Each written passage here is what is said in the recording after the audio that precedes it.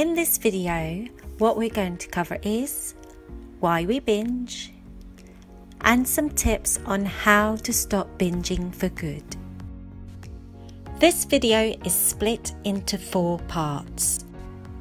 Part 3 Why we comfort eat, why we feel powerless to binges. Tip number one stop dieting. Tip number two don't get too hungry. Tip number three always carry a healthy snack. And tip number four break the habit part one. And plus, you never got taught how to deal with your emotion. Most of our upbringing connected these foods with joy. When we did have an emotion, many of us, I can vouch for myself, wasn't really taught how to deal with our emotions. I mean, can you tell me whether or not you had like any lessons at school to say, hey, when you're feeling bad, this is what you should do. It's it's absolutely normal to feel anxiety when it's like this because your mind is only in survival mode and it likes doing something familiar but and also it's also natural to want to be um, in a tribe. So when you're feeling a bit left out or someone's like making fun of you and you're not feeling good, these emotions are absolutely normal and this is what you should do. Nobody really kind of, I don't know about you guys, but I do not remember a time in my life when somebody said to me like it's okay to feel safe when it comes to emotions in actual fact that when I fell over or something like that, I would get a, put a plaster on that. Like my parents would say, "Hey, I tell you what, we'll make that feel better. Let's go get an ice cream." You know, and it didn't happen that long ago with my daughter. Actually, she was having a huge meltdown. My dad like reached over, and gave her a sweet, and I'm like, "Hang on a sec, you know."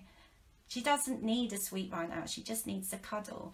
And another thing, if you weren't given the adequate nurturing during the first years of your life, especially the first seven years, then unhealthy eating habits like binging is also very typical amongst people who have destructive eating behaviours.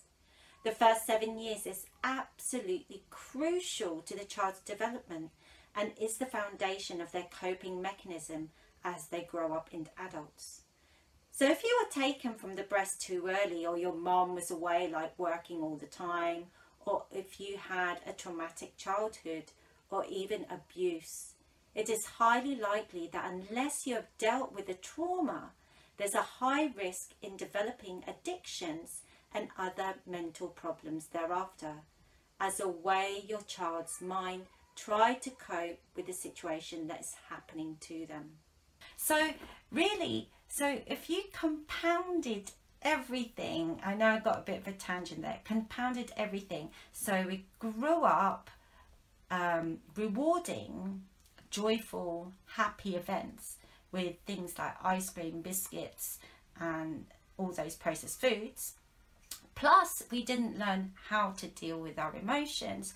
Plus, our survival instinct to always binge at a sign of any um, fast, which means any kind of dieting, plus the fact that these processed foods sends dopamine shots into our brain, which has a chemical reaction to addictive foods. Sorry, that's my daughter. She's just come back from like um, having some fresh air.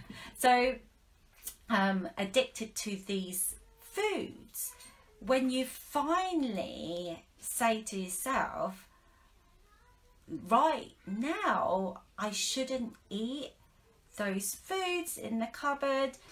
The problem with that is, is that bearing in mind what I've said before about having the drive for those things because these companies has been cleverly designed these foods to be very highly addictive because of the way our biological makeup is made. So when you are trying to refrain from there, it is going to feel almost impossible especially when you have no idea why you are being driven to those foods. And it's not because you haven't got any willpower, no. You are fighting against years and years and years and years of compounded stuff that makes it almost impossible for you to resist those foods. Okay, so now is the good bit. So now you understand why we binge and why it is completely natural for us to binge and why it's actually made it worse because of the chemical stuff that these big companies has done to make it almost impossible for us to refuse eating those foods. It's kind of playing with us, which is like completely wrong. So, first of all, one thing you have to do is stop dieting. Number one thing, stop dieting, stop restricting, because as soon as you diet, as soon as you restrict, it's almost like your whole brain is being hijacked by your prim- primitive brain. And when it comes to your brain, your emotional primitive brain will always win. Okay, over logic.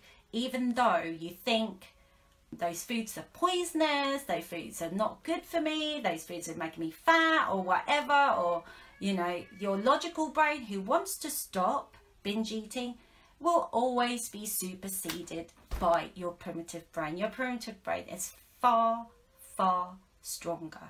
Okay, so the only way that you can shut up that primitive brain is to stop starving it. It doesn't like to be starved, it wants you to stay alive. Starving, dieting equals danger for the primitive brain. Second tip is don't leave eating too late. If you can avoid it, like binging, like I said, is the most natural thing um, to do as a reflex to being starving.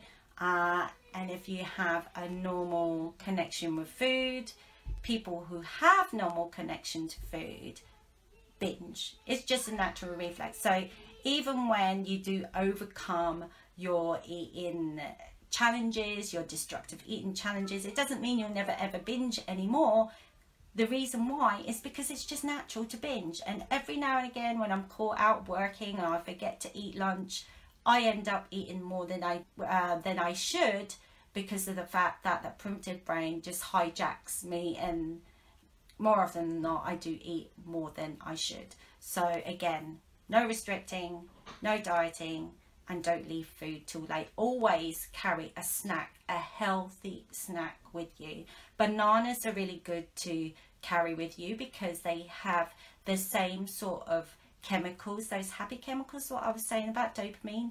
Um, bananas, it makes you feel really satisfied. So to eat that when you haven't got time, that second to make a nutritional meal, a banana in between, those will prevent you from feeling that, you know, I'm survival instinct. Um, third thing, break the habit. I know this is probably the hardest. Honestly, you don't need any therapy from me. If you can do that by yourself, break the habit.